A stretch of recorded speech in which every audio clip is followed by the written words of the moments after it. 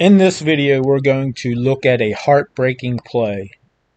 This is the play that won the game for the Oakland Raiders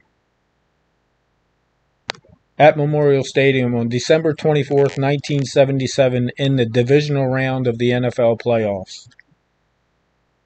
No, we're not going to look at the ghost to the post again. We're going to look at a play that was missed by Bert Jones that would have given the Colts the victory more than likely. Bert Jones misses Raymond Chester, whom was wide open, and said that the only thing guarding him was God and the air, which was true. When you watch this, you will see that.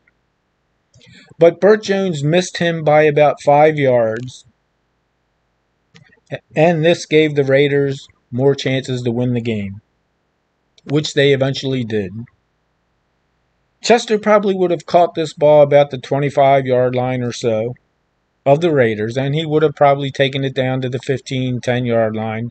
He may have even scored had he been able to make a move on the defensive back who was closing in on him, but he wasn't close.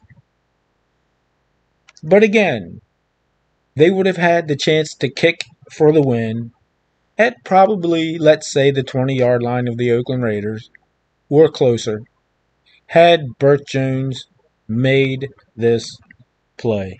And we dropped back, and everything was perfect.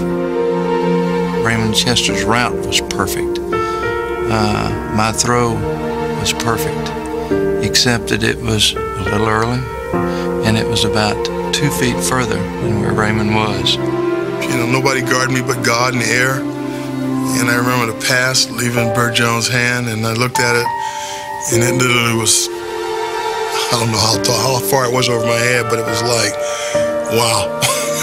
I remember that feeling of frustration.